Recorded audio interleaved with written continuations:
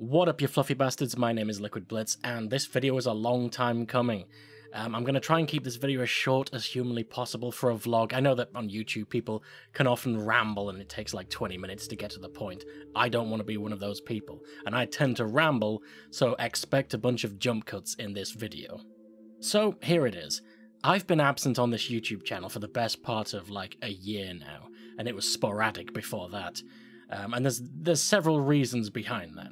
First of all, I've always made YouTube videos about sort of mainstream games like Battlefield, PUBG, Call of Duty, uh, and, and this is really, really subject to me actually really liking a game and playing it a lot. I mean, I'm not going to make YouTube guides about a game that I'm not really into and, and good at.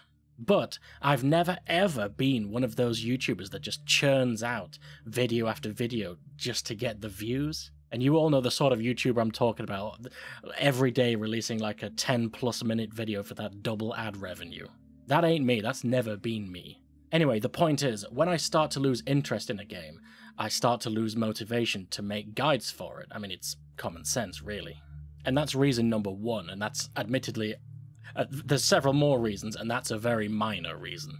So, reason number two Okay, two or like three years ago now, I mean, Jesus Christ, time flies. But like three years ago, I started live streaming for the first time. I started on YouTube, but I, I quickly jumped over to Twitch. I made the decision permanently to live stream on Twitch instead because I didn't want all my eggs in one basket. Like, if for some magical reason YouTube just folds into nothing, um, I would literally lose everything. So I wanted to split my audience between two platforms. So I started live streaming on Twitch most days of the week, and still do, by the way. Now, very, very quickly, Twitch became like 99.99% of my income, which I rely on completely. This in turn led to me spending the majority of my time live streaming and not YouTube video creating.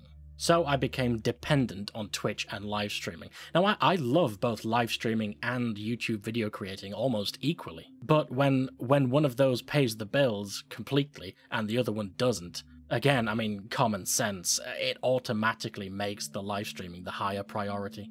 So that just directly cuts down heroically on the, the amount of time I've got to actually make videos. And that's, that's reason number two. Um, moving on to reason number three, this is probably, to be honest with you, the biggest reason, and it's, it's something you hear all too often these days, sadly. Depression. Anxiety and depression, that whole shitstorm that a lot of us suffer from, or suffer with. Now, I'm not going to sit here, I've made the decision that I'm not going to sit here and subject you to, to listening to my bullshit for a thousand years. I really don't like talking about myself. This is quite weird and difficult for me right now, believe it or not. So I'm just trying to be transparent and give you the facts. Let's stick to the facts. And the facts are that what I would call relatively severe depression this past year has just killed all my motivation. For me, it's um, it's, it's a long-term thing, but this past year has been worse than ever. I lost motivation, not just to not just to make YouTube guides and, and sort of live streaming, but almost just to play games at all. Which really sucks because I mean, I love playing games. It's my main hobby is gaming. It's largely all I do.